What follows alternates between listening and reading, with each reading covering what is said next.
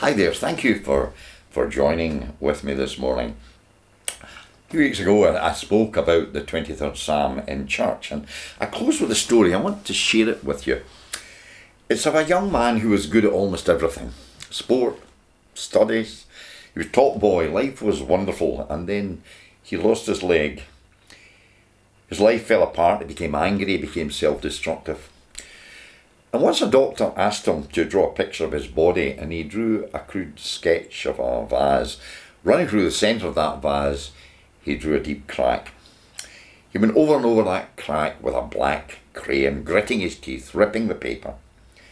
It was a symbol of the failure of his body, the death of how he saw himself with two good legs, loved and admired by everyone. Over time, his anger lessened and he began to heal. And you know how he did it? He, he did it by reaching out to others, perhaps in the same situation. His doctor invited him to visit other young people whose problems were similar to his. And he was once asked to visit a young lass, and she lay in bed with her eyes closed. She refused to look at him, no matter how he tried. He tried everything. He made jokes. He even got angry at her, and finally he stood up um, one last effort to get her attention. He unstrapped his artificial leg, let it drop to the floor with a bang. She got fright. She opened her eyes, she saw him for the first time, and he began to laugh out loud and hop around the room on his one remaining leg and uh, to the music that she was playing on her radio. And she burst out laughing and said, If you can dance, maybe I can sing. It's absolutely true. They became friends, close friends, and yes, eventually they became husband and wife.